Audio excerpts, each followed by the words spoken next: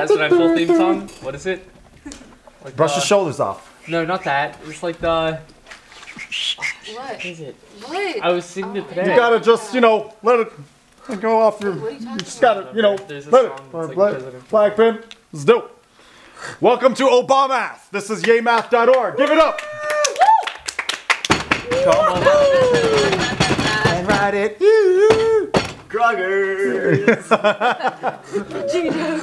Oh, God. Today we'll be doing the law of cosines. Yes, complement to the law of sines. Please draw the following triangle before uh, Michelle comes in and tells me that the fun's over. Barack, get back to being president. No, I'd rather do trig. Yeah. it's like Angela Merkel's on the line. Like she can wait. I'm with my friends. You have to declare war. Well, that's true. but we need to solve this triangle too. Yes. Folks need this. Just as That is the American dream. Trigonometry is the American dream. American nightmare. Ah! It's on the test. And the final, no! My- like my final day is a trig. Okay, let's solve this triangle, right? Um, thinking of law of sines, right? Uh, we could use the law of sines to solve any triangle. Again, this is side A, if we wanted to call it that. What would be the setup for law of sines, please? Go ahead. It would- Sine of Uh, sine 40 over over A equals, equals sine C sure, over, over. 10. What's the problem? Uh, we. You have an if- A and a if we C. cross multiply. What's the problem in terms of solving? Uh, you said it. Yeah. Two variables. Two variables. So no matter how hard we try in this case, we could have even done sine of b over 12. You see that? And it still would have been the same. Same problem. We have two variables, so we can't use the law of sines in this case. The, I'll actually wait for you to tell me when you can use the law of sines. So when you can't use the law of sines, which is this ratio, we use the law of cosines. I'll show you how that works. All right, first let's set up the formula. It goes as follows. Just think of like Pythag. See that? Yeah. It's weird. I know what the A's and B's and C's. I'll, I'll get back to that. So first, let's just write that. Okay. Minus. In other words, this is what it means. One side squared equals the other two sides squared. Okay. That's all that thing, all that means. Minus two times these same two sides B plus C. times, just Yeah. times, Oh. times the cosine of the original angle over here, which would be A. Oh, okay? Oh, we did. Didn't yeah, we, we, we touched on this Wow, over the semester. Yeah. Let's actually try it in a different format. Could I say B squared? Yeah. Yes. So one side equals s- the other two sides. Go for it. A squared plus, Plus. C squared minus 2AC times cos B. Yes. Cosine. Yeah, that. You got it. You got it. All right. You want to try one? So start with the third side. Uh, C squared C squared. equals A squared plus B squared. Uh, 2AB minus Times. times cosine C. Big C, right? Blah. Cool? Yes. So this is the, the same formula over and over again. It's just how you look at it, okay? One side equals the other two sides squared, added up, minus two times those same two sides, times the cosine of the angle across from the first So that, side. that's minus 2AB, right? That's like the Yeah, minus 2ab, right? This is a minus, that's right. And so we look at this situation, and uh, best guess, what is the variable we can isolate on one side, and then the other two that we know is on the other side? Which should we start, which formula here? We start with. Uh, the, A. yeah, A. A, that's right. If we start with a squared that's isolated, and then we could throw in all this other stuff. So let's see if it works. Cool. So take this off. You don't have to. All right. All right, let's do it. A squared, do we know it? Uh, Yeah. yeah. A squared, do we know what A, a is yet? Uh, 40. Yeah, it's 40. No, no, little a. Oh. Oh, no. No, equals B squared, or in other words, Uh, 12. hundred- Well, 100 because it's 10 squared. We'll get we'll get there. Can you just give me what b is? Oh, 12 squared. 12 squared. Good job. Plus. 10 squared. Very good. That's all I want. Minus 2 times Uh, 12, times 10, times the cosine of uh, 40. 40. Very good. I'm going to make a little more room for myself here. So much writing. So much writing in the world. You should do the show. Rock's the So next much trig in the world. Rock's heading to New York. All right. Now, let's simplify our lives. oh my god. Let's a simpli- Let's simplify. Let's go. He's like, hey. it's like waving to a painting. okay, here we go. A painting of a painting. yeah, right. 12 squared is 144. plus. 100. All right. 2 times, let's say 10, that's 20. Uh, times 12, 240. 240. Good job. S- Cosine of 40. Which is We'll get we'll get to that. Let's do order of operations. Should we? Can we add these two? We shall. yes. What is it? 244.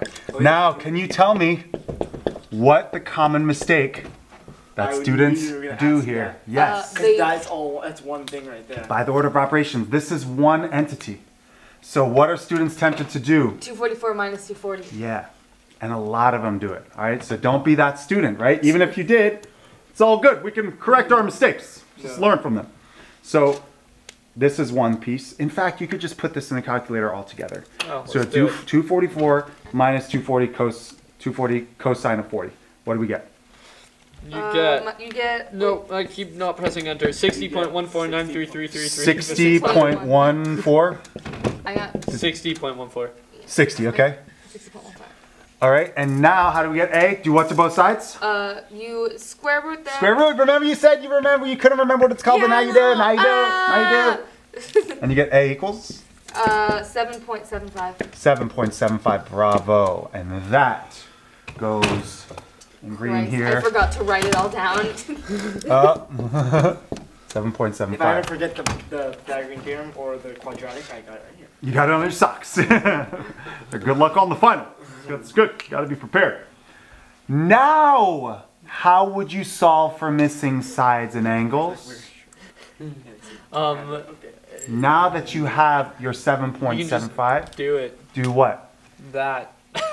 You could do law of cosines again. Yeah, Could yeah. you do law of sines though? Yes. Try. Just give us a setup, Wait. please. Okay. Do this law of Oh, sines I don't have any of my notes. It's okay. If you Um, recall the the form the the ratio sine of Sine of um. 40 yeah over side over 7.75 yes side across from it. That's right. equals, Equals, hook it up. Sine B Sure. over 12. Now we can do it. And now you can solve Uh, the rest easy of the triangle. peasy. And using inverse trig to solve that. Okay? Let's just get one angle. Let's solve this one angle and then we can get C easily from there. So this would be, 7.75 sine B. yep. And then so sine B Side of 40. equals 12 sine 40 over 7.75. Right, this is cross multiply and divide. I got 0.99. 0.99. So close. This is 0.99 here. No, yeah. Yeah, I think. So let's see what's going on with this. 12 sine 40 divided by 7.75. Yeah. I'm getting 0.99. How about that? Second sine. Yeah, that's. 84 degrees. No, yeah. No, a- you probably just put it wrong. No! The second time. No! no, no, no. But you didn't close your. Yeah, and, and and without closing the, the parentheses, I got the 0.99. Yeah, I know, but he he always says close parentheses. 0.99. And so B equals the. That's just good that we did it then. President's. Inverse sine. Yeah, the president knows. 81. I got 84.4. What did You close your parentheses. Oh, no, I forgot to add. What the- did I do? What did I do? She's invested. Okay. Oh, yeah, I got it now. Okay, great. Questions on that? That would be 84. 4.4, okay? So uh, let's do one more triangle for law of cosines. Any questions on how we got this? And then that we switch to law of sines? Are you comfortable we switch to law of sines after? Okay. Okay, one more, one more.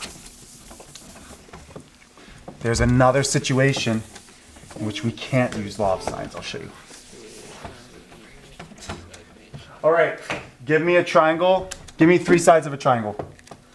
Give me three sides. 12. 12 is one, go ahead. 10, Sure. 17, 12, 10, 8. 17. I'm 17 is Okay, first. 17. So if I gave you, let's say I gave you three sticks, one 10 inches, one 12 inches, one 17, Yeah. and I gave you those three, how many triangles could you create from those three sides? One. One, right? Yeah. Even if you rotated it, there's only one triangle, it's Yeah. locked. The question is how we get the angles. Could you use law of sines to get those angles?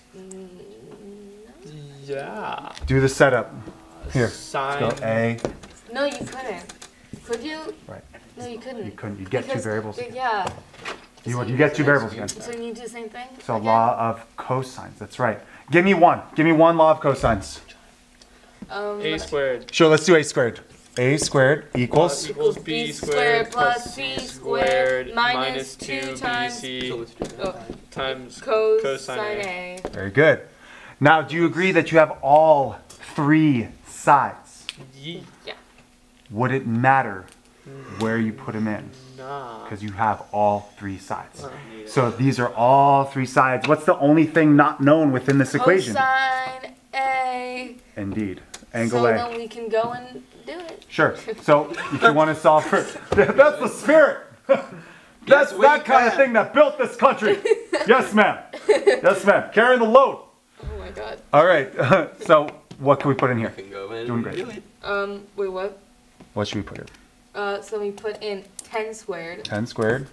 Uh, it's, and then 17 squared plus 12 squared equals 2. Oop. Or minus. Minus 2. Um, minus 2 times 17 times 12 Yes. uh, equals Cosine cosine A. Good. And then Good. And now we pump in some number crunching.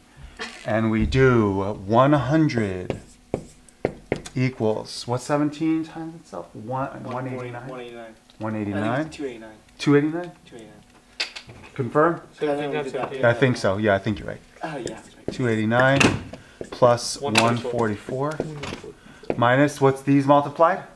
Uh, 24 plus. 24 times 17 makes. Put on Can't count. do that. in my head. 586. Wait, would you wouldn't distribute the two to both of them? No, it's a straight multiplication. Oh. There's no distributive 408. property. 408 That was a trick question. oh wait, cosine of A. You're confirming that that 2 times 17 times 12 is 408? Yep. Very good. And now by order of operations, what should we do to simplify our 289 lives? plus 144. Very good. Next. Uh, Four. 433. 433. Plug in. Minus Hold up. 408. Minus 408. Plug in. Cosine of A. What should we not do? Not subtract Oh. the two of them. Oh, ye- Correct. should- not subtract the two of them. We're solving for cosine of A. And Let's then you would cosine- subtract? What would you subtract first from both The sides? 100. cosine. Not yet. But you do 408 cosine A and then subtract whatever that is from You 433, 433. right? You You like should subtract four- 433 first. Subtract 433. Move this away to get this whole piece by itself. So would Yeah. you have Okay. Get negative 433? Or would you just, or would you do 100 minus 433 and have negative 333? Yep. Negative 333. That's right. So let's go. Let's subtract 433 on both sides. It's very it's a very interesting system because it is following order of operations, but It's this makes it a little Decimal trickier. System. Negative 333. Yeah, you'd say that. Negative. Visit your local library. Okay. Uh, and then it was 408. negative I see negative equals Cosine negative, which is great. So Divide both sides by. by negative something And then to I get them got back? point Yeah. eight one six one. Yeah, what are you dividing both sides by? Negative four oh eight. That's right. Let's put that in. Ah! And then you should get on your left side 0.816. Okay. So then now we use inverse trig. A equals inverse cosine ratio 0.816 blah blah blah equals Uh, thirty-five point three one. bravo 35 angle A Yeah, it looks like the smallest one. 35.3 degrees. Putting it in, 35.3. Now, are we obligated to use law of cosines again? Nah, No. nah, fam, nah. What can we use? We can use Law of sine. Yeah. Law of sines. Can you set it up verbally? Sine of? Sine of 35.3 Over 10 10 equals sine of b over 17. Go ahead. And we won't even solve it. Any questions? Nah, man. Jury All right. We're good. Legit. Uh, that is legitimate. As the president, I am a legitimate president. I was born in Hawaii as I back up into this board. I am not a Muslim. I have a birth certificate. like you get, you can't let that stuff, you know. Just brush it, brush it, brush it. Oh. Yes, sir. You can cut the camera now. This has been over. Hello, I'm President Barack Obama. In any approaching election season, it is of the utmost importance to vote. Your vote directly shapes the future of our nation. Simply Google how to register to vote for details in your area. I'm Barack Obama, and I approve this message.